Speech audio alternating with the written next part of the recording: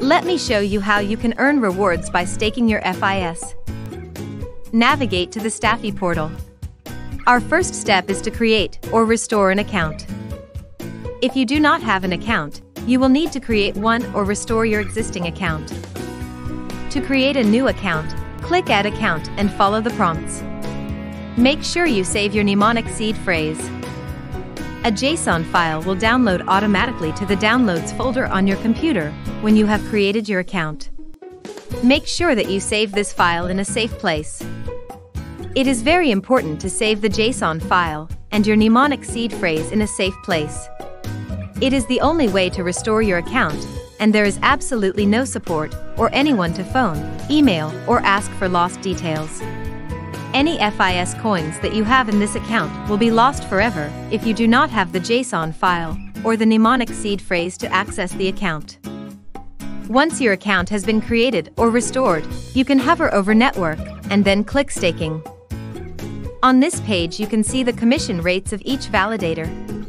This is the fee that the validator charges, so if the validator charges 4%, that means that 96% of rewards are shared with nominators. Click Account Actions to go to the next step. Click Nominator to continue. It is recommended for the controller and stash account to be different, but it is okay if it's the same. Type the value that you want to bond. It is a good idea to only bond about 95% of your total FIS to keep some left over for fees. By clicking the drop-down arrow on Payment Destination, you can choose where you want your rewards to be paid. Click Next. Type the names of your favorite validators.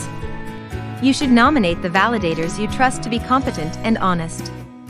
Stafi implements a slashing mechanism for validators. Your stake can also be slashed if you do not select your validators wisely. Staking 4 all supports the Polkadot ecosystem, and we operate multiple nodes on several Polkadot and Kusama based projects.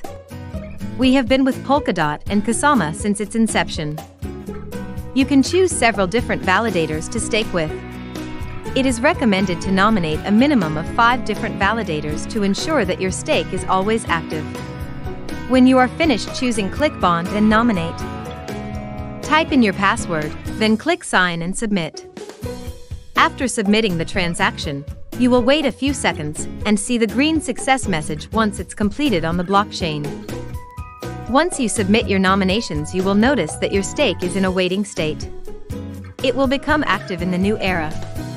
A new era starts every 6 hours. While your stake is in a waiting state, you will not be earning any rewards. After 6 hours you will see that your stake is now active. In most cases your stake will only be applied to one of the validators that you nominated at a time. Your stake may rotate between your nominated validators in the different eras. If you have very large FIS holdings, it may be split automatically across more than one validator in the same era. Rewards are available to be claimed at the end of each era. However, whichever nominator collects first will trigger the payment for all nominators of the same validator. Therefore, some days it may seem like the rewards are paid out automatically, but in reality another nominator has initiated payout before you. To see if there are rewards to claim, hover over Network and click Staking. Now click on Payouts. If you see that there are rewards to be claimed, you can click Payout All. When this screen pops up, click Payout. Now put in your password and click Sign and Submit. You have now successfully paid out all the rewards for the era. Well done. You can go to Subscan to see a detailed review of all your rewards.